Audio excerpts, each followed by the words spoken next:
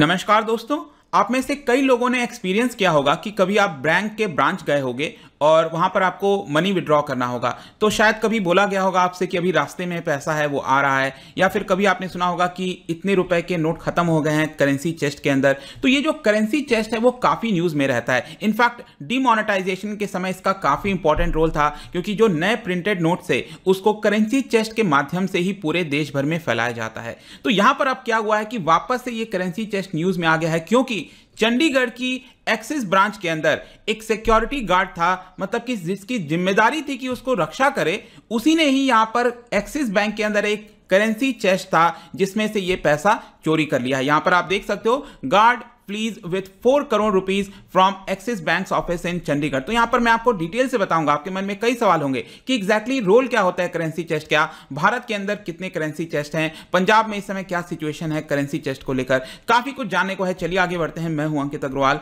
और अपडेट के लिए आप मुझे फॉलो कर सकते हैं इंस्टाग्राम फेसबुक और ट्विटर पर मेरे लेक्चर की हर पीडीएफ आपको फेसबुक पर तो मिलेगी। प्लस साथ में आप मेरा टेलीग्राम चैनल ज्वाइन कर सकते हैं by searching Ankit Agarwal official और जैसा कि आपको पता है यूपीएससी के एग्ज़ाम्स आने वाले हैं। अगर आप अपनी प्रिपरेशन कर रहे हो दो इक्कीस बाईस तेईस जब भी तो आप हमारे कोर्स को ज्वाइन कर सकते हैं, आप विज़िट कर सकते हैं हमारे वेबसाइट या फिर डायरेक्टली एंड्रॉयड ऐप को डाउनलोड करके जितनी भी इंफॉर्मेशन है, जो भी चीज़ें हैं, एक जगह उपलब्ध करा दी जाती हैं। चलिए देखते हैं एग्जैक्टली exactly हुआ क्या है, क्यों हम इसके बारे में डिस्कस कर रहे हैं। तो चंडीगढ़ के अंदर जो सेक्टर 34 है, वहाँ पर एक्सिस बैंक की ब्रांच है, जिसमें से 4.04 करोड़ रुपीस एक प्राइवेट सिक्योरिटी गार्ड के द्वारा यहाँ पर चोरी कर लिया गया है। और चंडीगढ़ में ऐसा पहला मामला सामने आया है कि इतना बड़ा अमाउंट किसी बैंक से डायरेक्टली यहाँ पर चोरी किया गया हो। पहले कुछ रिपोर्ट हुई थी चीज़ें, लेकिन जैसे कि ज्वेलरी आइटम्स हो गया, एक ज्वेलरी के शोरूम से 2012 में 12 करोड़ रुपए 12 करोड़ के ज्वेलरी चोरी की गई थी। लेकिन इस तरह से डायरेक्टली बैंक के अंदर से किसी गार्ड के द्वारा चार करोड़ से भी ज़्यादा रुपए निकालना यह पहली बार सामने आ रहा है। तो चलिए इसके बारे में मैं आपको आगे और बताऊँगा गार्ड का इस समय क्या सिचुएशन है। लेकिन यहाँ पर ये जो करेंसी चेस्ट है, ये एग्जैक्टली होता क्या है? देखिएगा, अक्सर आप बैंकिंग में कई जगह पढ़ते हो रेपो रेट में बढ़ोतरी हो गई, कमी हो गई।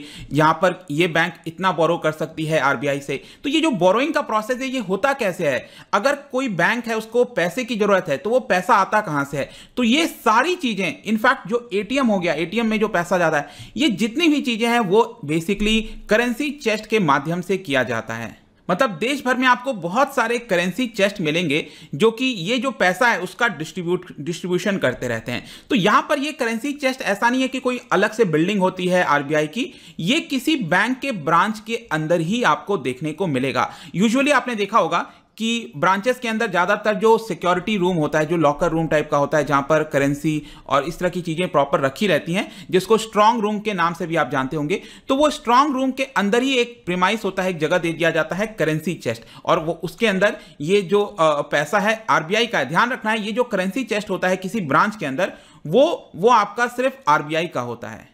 और इसी की वजह से समय समय पर जो आरबीआई के रिप्रेजेंटेटिव होते हैं, वो करेंसी चेस्ट में आते हैं मतलब कि उस बैंक के ब्रांच में आते हैं और करेंसी चेस्ट में जाकर देखते रहते हैं टाइम टू टाइम कि सब कुछ सुरक्षित है, क्या चल रहा है, क्या नहीं चल रहा है। तो यहाँ पर जो पैसा है, अब आपको समझना है यहाँ पर, ये ये स्ट्रांग रूम हो गया, जहाँ पर बैंक का कोई ब्रांच है, जैसे कि एक्सिस बैंक का ये था तो ये एक स्ट्रांग रूम है। स्ट्रांग रूम बिलोंग करता है बैंक को, लेकिन इसी स्ट्रांग रूम के अंदर एक जगह होता है जहाँ पर करेंसी चेस्ट होता है मतलब वो इसमें जो पैसा रखा होगा वो आरबीआई को बिलोंग करेगा। और इस करेंसी चेस्ट के बाहर जो पैसा रखा है स्ट्रांग रूम के अंदर वो आपका बैंक का होता है। तो आई होप कि ये चीज़ आपको समझ में आ गई होगी। तो ये जो सेक्टर 34 एक्सिस बैंक का जो, ब्रांच है यहाँ पर जो चार करोड़ रुपए चोरी हुए हैं वो आपका आरबीआई की प्रॉपर्टी है। मतलब कि आरबी वो करेंसी चेस्ट से चोरी हुआ है स्ट्रांग रूम के अंदर था लेकिन ये आरबीआई की प्रॉपर्टी है। तो अब यहाँ पर क्वेश्चन आता है कि ये जो चोरी हुई है, उसकी उसकी भरपाई कौन करेगा? क्या अब आरबीआई को ही लॉस झेलना पड़ेगा?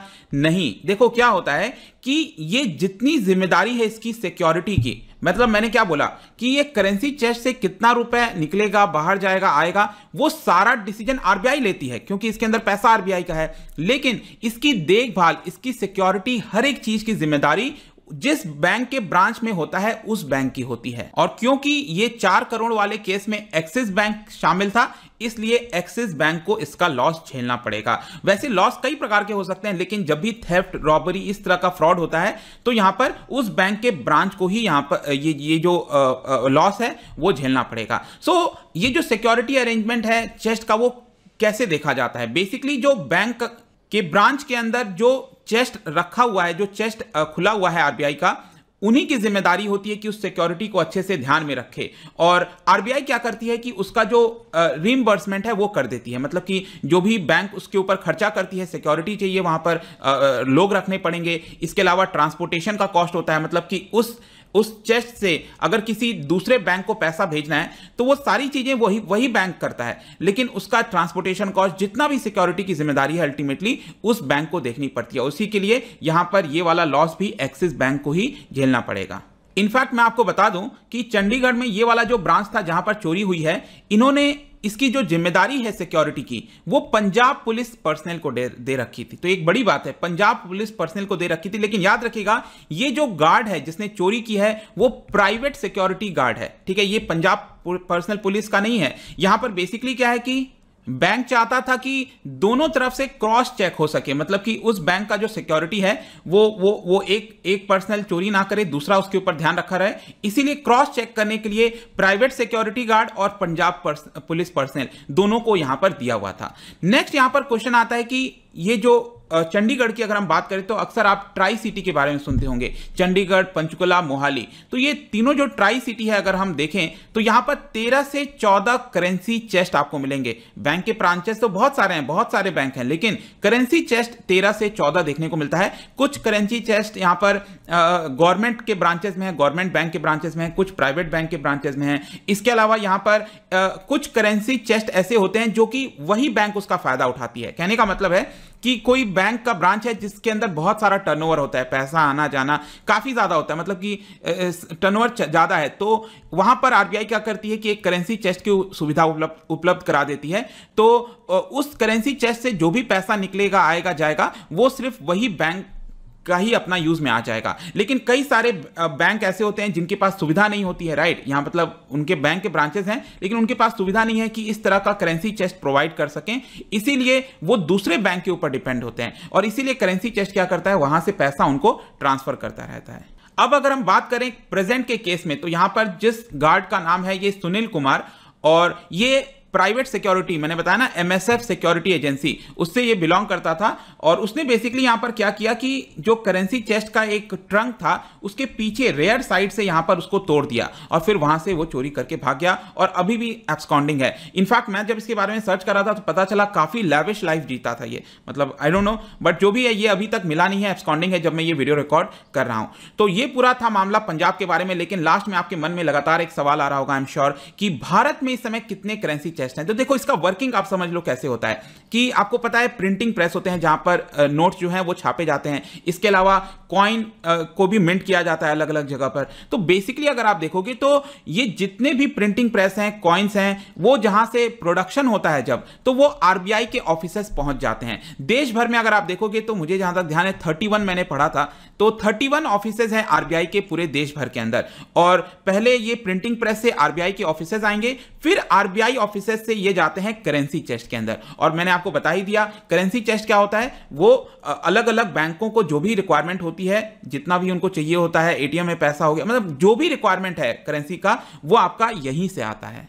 और देश में इस समय इस समय क्या बताऊँ 2018 या 19 का ये आंकड़ा है 4075 करेंसी चेस्ट है। अभी थोड़ा सा, थोड़ा बहुत बढ़ गया होगा, घट गया होगा आई डोंट नो बट इसी के आसपास होगा। 4000 आप मान के चल सकते हो। इतना करेंसी चेस्ट इस समय देश के अंदर आपको मिलेगा। और इसके अलावा कॉइन डिपो भी होते हैं। मतलब ये तो सिर्फ़ करेंसी हो गया, जो नोट्स हो गया, उसके बारे में कॉइन्स के लिए भी अलग अलग छोटे छोटे डिपो हैं, वो वो भी बैंक के ब्रांचेस में ही देखने को मिलता है। तो उसकी भी संख्या 3700 से ज़्यादा आपको देखने को मिलेगी। तो ये पूरा वीडियो था regarding currency chest I hope कि इसमें जो भी डाउट होगा अब आपको, वो सारे क्लियर हो गए होंगे। जाने से पहले यहाँ पर मैं आपके लिए एक इंटरेस्टिंग क्वेश्चन लेकर आया हूँ। देखो, जो करेंसी नोट प्रिंटिंग है प्रेसेस हैं, वो आपको कई देखने को मिलेंगे देश भर में राइट तो यहाँ पर क्या होता है कि कुछ प्रेस ऐसे हैं जो कि आरबीआई के द्वारा ओन किए जाते हैं। आरबीआई उसको रेगुलेट करता है और कुछ ऐसे हैं कि जो सेंट्रल बैंक उसको कंट्रोल करती है, ठीक है? तो यहाँ पर आपको बताना है चार ऑप्शन में से कि कौन सा आपका सेंट्रल गवर्नमेंट कंट्रोल नहीं करती है। ठीक है? इसमें से कौन सा सेंट्रल बैंक कंट्रोल नहीं करती है? देवास, आपको पता होगा, ये आपको मध्य प्रदेश में मिलेगा, सलबोनी, ये वेस्ट बंगाल में मैसूरू कर्नाटक आपको पता ही है। ठीक है तो यहाँ पर इसका राइट आंसर आप बताइए मुझे। आपको पता ही है, मैं इसका राइट आंसर आप अपने इंस्टाग्राम पर तो डालूँगा ही स्टोरीज में। अगर आप वहाँ पर नहीं हो, कोई बात नहीं टेलीग्राम से भी आप इसका राइट आंसर ले सकते हैं। मैं कई सारे एमसीक्यूज यहाँ पर डालता रहता हूँ स्टोरीज के फॉर्म में, आप जाकर प्ले कर सकते हो। अगर आप मुझसे इकोनॉमी पढ़ना चाहते हैं, कोई भी कोर्स परचेज करना चाहते हैं स्टडी आई ऐप पर जा सकते हैं। आई होप की वीडियो आपको पसंद आया होगा। मिलता हूँ आपसे next time till then thank you very much see you soon